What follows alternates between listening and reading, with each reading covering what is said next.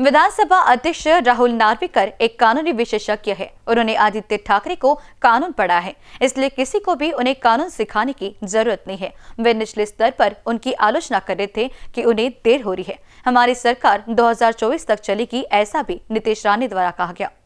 आज आमचे भारतीय जनता पक्षाचे आमदार पंकज भोयरजींच्या मतदारसंघामध्ये काही विकास कामाची उद्घाटनं आहेत. आणि त्यासाठी आज वर्धाच्या दौऱ्यावर आम्ही आहोत.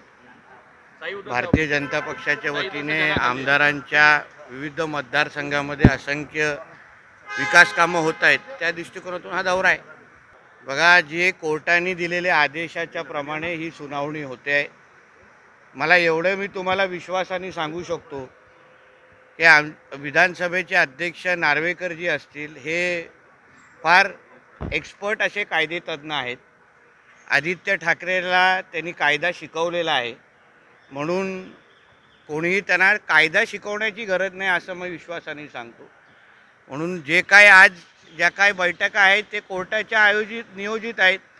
जेव्हा ते काही थोडा उशीर लागत होते तेव्हा त्यांच्यावर कुठल्या खालच्या पातळीची टीका ठाकरे गटाचे लोक करत होते. त्यांच्या एकंदरीत राजकीय इतिहास काढत होते. त्यांच्या उणीधुणी काढत होते. आज नार्वेकरांकडेच जाऊन सरळ शेवटी समोर बसायला लागतं आहे म्हणून आम्हाला विश्वास आहे की कायद्याच्या चौकटीमध्ये राहून आमचं हे सरकार दोन हजार चोवीसपर्यंत सक्षम आणि ताकदीने टिकणार चालणार आणि दोन हजार चोवीसच्या निवडणुकीमध्ये परत महायुतीचं सरकार येणार. जरांगे पाटलांची जी काही मागणी आहे त्यानुसार सरकार चर्चा करते आहे मार्ग काढायला प्रयत्न करतं आहे जरांगे पाटील हा तसा तळागाळातला संघर्ष करणारा कार्यकर्ता आहे. मी त्यांना खूप वर्षापासून ओळखतो. म्हणून कुठल्याही विषयाचा अहंकार ते करणार नाहीत.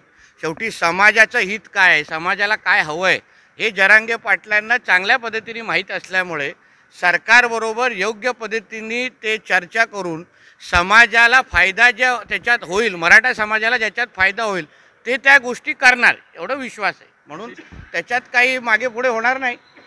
सगळ्याच समाजाच्या सगळ्याच प्रमुखांना आणि सगळ्याच घटकांना सांगेन की हे महायुतीचं सरकार हे आपलं आहे. आपलं हक्काचं आहे. मराठा असेल ओबीसी असेल धनगर असेल सगळेच समाजाच्या सांगेन. शेवटी ज्यांना आपल्या महाराष्ट्राचं वातावरण अस्थिर करायचं आहे त्यांच्या हातात आपण काही गोष्टी देऊ नये. आपण एकत्र मिळून ह्या आमच्या मुख्यमंत्री आणि दोन्ही उपमुख्यमंत्र्यांवर विश्वास ठेवावा. कुठलाही समाजाला कुठलीही अडचण होणार नाही. आणि प्रत्येक समाजाला बरोबर घेऊन आमचं सरकार त्यांना न्याय देईल. एवढा अनुभव तुम्हाला येणाऱ्या काळात भेटेल. शेवटी ज्यांना काड्या लावायच्या आहेत महाराष्ट्रामध्ये कायदा आणि सुव्यवस्था बिघडवायची आहे.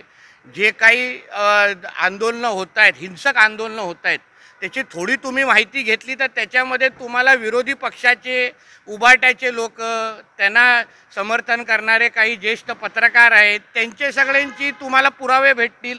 हे फार नियोजित पद्धतीने आमच्या देवेंद्र फडणवीसजींना टार्गेट करण्याचा हा कार्यक्रम सुरू आहे.